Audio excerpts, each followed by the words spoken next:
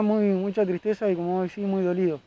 Eh, uno va para una jornada de fútbol y se termina en esta situación de que te tenés que estar esquivando una piedra para salvarte la vida.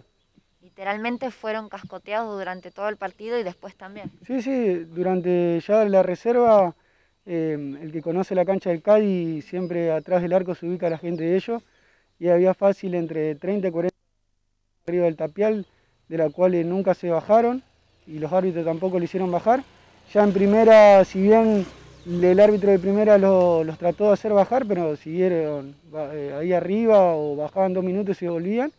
Y después ya empezaron con los piedrazos, en el segundo gol que hacemos, eh, de casualidad no le, no le pegaron a uno de los chicos en el festejo porque era constante las piedras, le, tiraron al arquero todo el segundo tiempo, la verdad, una, lamentable, lamentable el partido ayer. Eh, ¿No había, había personal policial? ¿No había? La verdad, no había. Eh, te puedo decir que vi dos patrulleros a la entrada que después se fueron y después durante el partido no había. Se llamó a la policía, a la gente del CAD y, nunca aparecieron.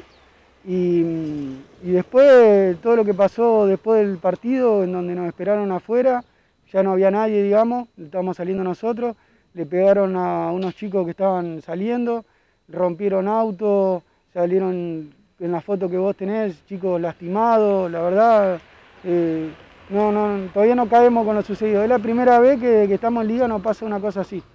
¿El árbitro en ningún momento atinó a querer parar el partido? Sí, lo paró, lo paró cuando empezaron a tirar los pirazos, habló con la gente de ellos para, para ver si se calmaban, se calmaron un rato, pero después siguieron del otro lado tirándole al arquero, pero lamentable.